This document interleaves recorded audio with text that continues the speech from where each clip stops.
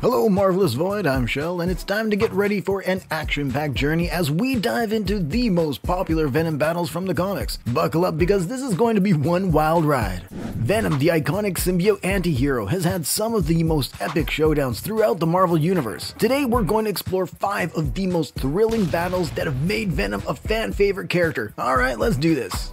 Our first battle takes us back to the Amazing Spider-Man issue number 300, where Venom made his explosive debut. This clash between Venom and Spider-Man set the stage for their ongoing rivalry and showcased the raw power of the symbiote.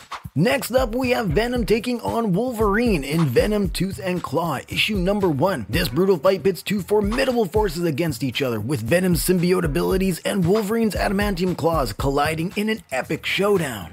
Now let's take a look at the clash between Venom and the Hulk. This battle of titans showcases the incredible strength of both characters as they go head to head, causing chaos and destruction in their wake.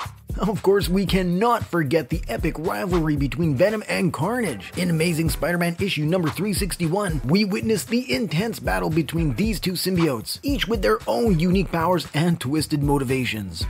Last but not least, we have Venom taking on the Sinister Six. This insane team up of villains against Venom showcase his strength, agility, and cunning as he faces overwhelming odds. Remember, these are just a few of the incredible battles that have made Venom a force to be reckoned with in the Marvel Universe. Each fight brings its own unique challenges and showcases the symbiote's power and resilience. So grab your favorite Venom comics and immerse yourself in the thrilling world of symbiote battles. Stay tuned for more Marvel updates and epic showdowns. Don't forget to like, subscribe, and hit that notification bell for more exciting content. Once again, I'm Shell. Thanks for stopping by, and I'll see you next time.